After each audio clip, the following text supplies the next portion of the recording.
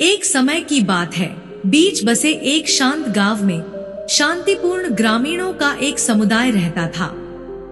उनमें माया नाम की एक गर्भवती महिला भी थी, जो अपनी दयालुता और विनम्रता के लिए जानी जाती थी।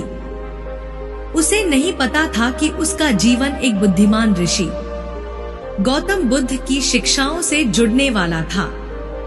जैसे जैसे माया की गर्भावस्था बढ़ती गई गाँव में कानाफूसी फैलने लगी।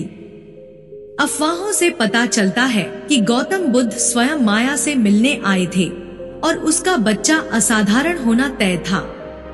ये अफवाहें आरोप प्रत्यारोप में बदल गईं, क्योंकि कुछ ग्रामीणों ने दावा करना शुरू कर दिया कि माया का बच्चा गौतम बुद्ध का था। यह खबर गौतम बुद्ध के कानों तक पहुँची जिन्होंने आरोपों से बेफिक्र होकर गाँव का दौरा करने और स्थिति का सामना करने का फैसला किया। वह शांति और ज्ञान की आभा बिखेरते हुए गाँव की सड़कों पर शांति से चला। गौतम बुद्ध माया के विनम्र निवास स्थान पर पहुँचे, जहाँ उसने श्रद्धा और भ्रम के साथ उनका स्वागत किया। वे मुझ पर आरोप क्यों लगाते हैं?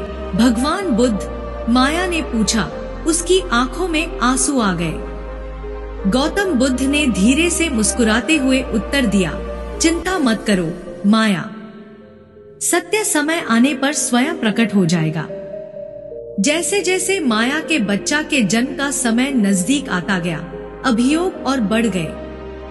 कुछ गाँव वासी माया से बच्चे की वंशजता का सबूत मांगते, जबकि अन्य उसकी ओर संदेहात्मक नज़रें डालते। उनके फैसले के वज़न को महसूस करते हुए माया दृढ़ रही, उसका विश्वास अटूट था। एक शांतिपूर्ण सुबह गौतम बुद्ध गाँव के चौराहे पर पहुँचे, जहाँ चल रहे नाटक को देखने के लिए भीड़ जमा हो गई थी। उन्होंने शालीनता और विनम्रता के साथ ग्रामीणों को संबोधित किया। उनके शब्दों में सच्चाई और करुणा का भाव था। रहस्योद्घाटन के एक क्षण में गौतम बुद्ध ने सभी प्राणियों के अंतर संबंध और निर्णय की मूर्खता के बारे में बात की। उन्होंने स्पष्ट किया कि माया का बच्चा न तो उनका था, न ही किसी और का। वह बच्चा, उन्होंने घोषणा की, जीवन का उपहार था, जो दुनिया में खुशी और ज्ञान लाने के लिए निर्धारित था।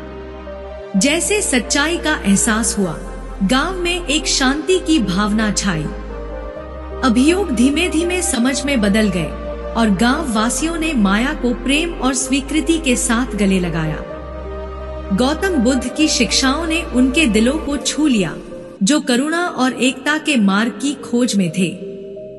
और इस प्राकृतिक सौंदर्य की शांतिपूर्ण सुंदरता के बीच एक नया युग आरंभ हुआ।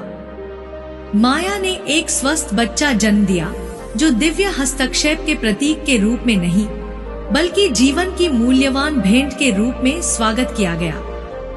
और गौतम बुद्ध का ज्ञान जारी